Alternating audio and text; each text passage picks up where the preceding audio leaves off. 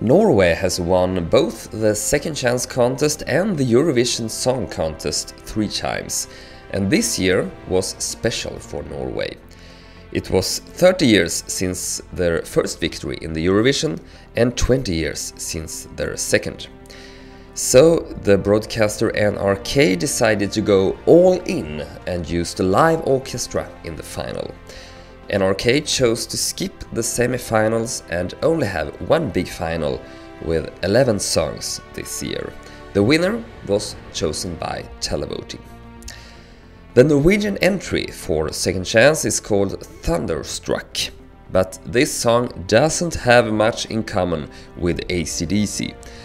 The singer Erlend Bratland was one of the main favorites before the final and ended second, beaten by fewer than 3,500 televotes.